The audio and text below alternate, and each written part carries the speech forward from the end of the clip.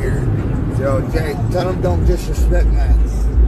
Fucking sick being just looking at a fucking man's wall. You already know that, nigga. Careful with your words, say they might write you a check your ass can't cash, nigga. Careful with your words, say they might write you a check your ass can't cash, nigga.